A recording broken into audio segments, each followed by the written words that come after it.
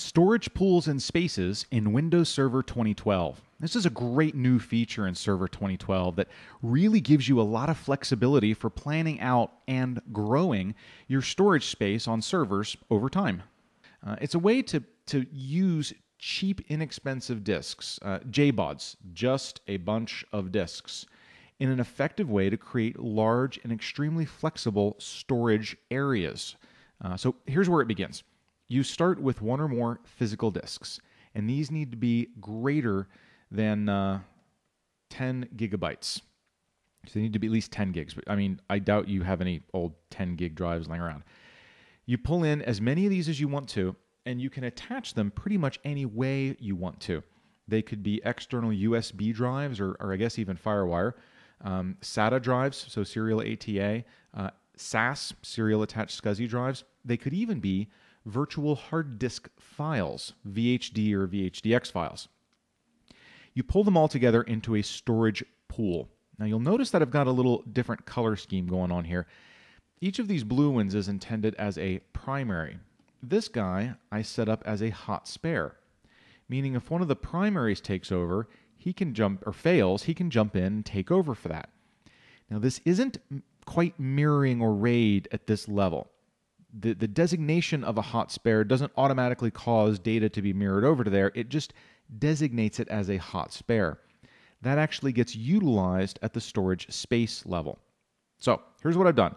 I've got a 2, 4, 6, 8, 10 gigaterabyte storage pool, keeping in mind that my hot spare over here isn't being actively used. Now I can start carving that storage pool up into storage spaces. And that's what these guys are, the blue boxes. This first one uh, has been named home data. So each storage space has a name.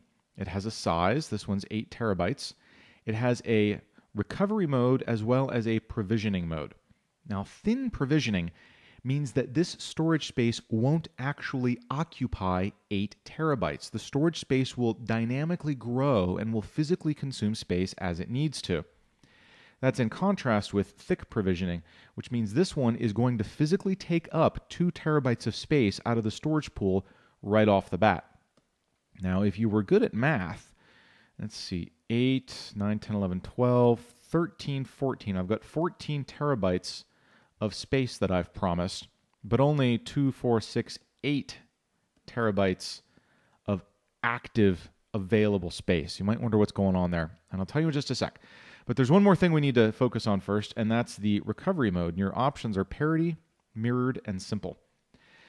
Simple means that your data is not safe, it's not backed up. If you lose any of these underlying drives, any simple space could be affected and you could lose data.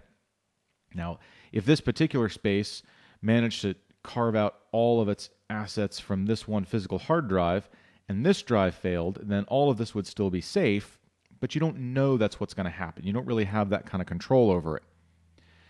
This one is mirrored. That means all the data is going to be stored on at least two physical devices in the underlying storage pool. And that's why we designated a hot spare. So if this one is carving its data off of this drive and this drive, and this one fails, then this one will still have a backup and it can grab this and start mirroring the data over to it using that hot spare. Your third option is parity. And that is essentially the same technology that was used by a RAID array, redundant array of inexpensive disks, meaning your data has a primary storage location, but it's actually got parity information stored somewhere else. So if this is lost, the hot spare can come into play, or some available space on another one of these physical devices could come into play, and the parity information will be used to reconstruct the missing data. Now let's get back to that idea of over provisioning because that's really what I've done here by committing all of this space without actually backing it up with enough physical disks to fulfill that. And it's because you can always come to a storage pool later and add more disk devices. So even though I've significantly overcommitted now, that doesn't have to be an overcommitment later when I actually start using some of this, because remember, it's thin provisioned. I'm not actually using it until I need it. Once I start using all that data and my physical devices start to kind of fill up, I can just add more devices and I don't need to re provision any of the spaces. Now, on top of a space, once you've created it, you then create a virtual disk, which can be exposed to the machine as a volume, like I've done here. So just like any other disk, really, at that point. But instead of taking it from a single disk, it's spreading it out across all these things. So it's, it's a pretty neat set of technologies. Here in Storage Manager, I can show you what it looks like. We'll pop over to the server's file and storage services. Uh, we'll start at the bottom level with a storage pool. Now, you can see that I've got a primordial storage space, uh, and that's the actual set of available disks that have been plugged in, and you can't use that directly.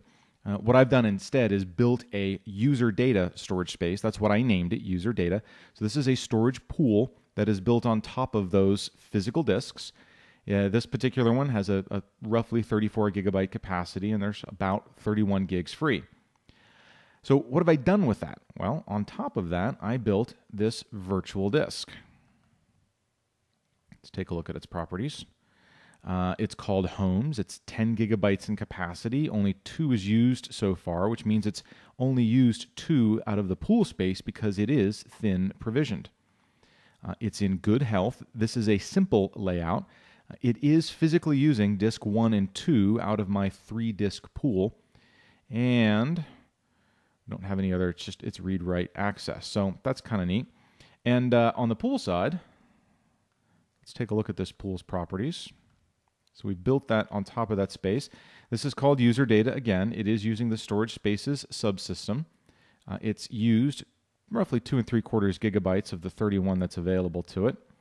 It's happy and operational, and I can look at a few different properties of that pool.